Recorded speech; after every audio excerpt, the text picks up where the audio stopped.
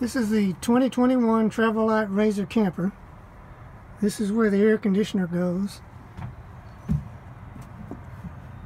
There's a problem. I don't have enough hands to really show you. But uh, this is the outside grill where the back of the air conditioner is. Here's your frame. There's slots at the bottom and top. This is just inside.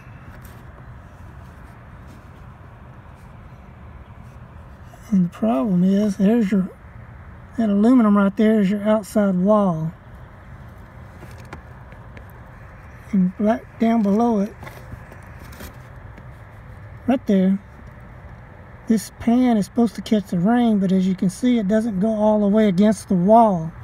You have a hole right there. I took my mechanic's mirror and looked, there's no caulking down there. So that goes right into your wall. It's like that on both sides. Any rain that blows in, here's your outside wall. It's unprotected wood and a hole that goes down into your wall.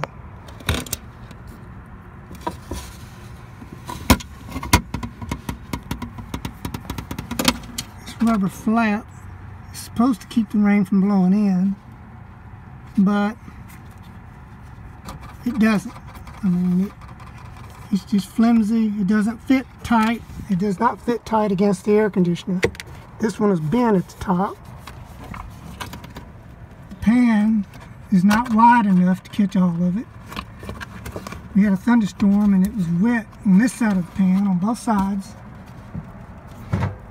And this is the kind of crap that Travel Lite is turning out now. The new Travel Lite.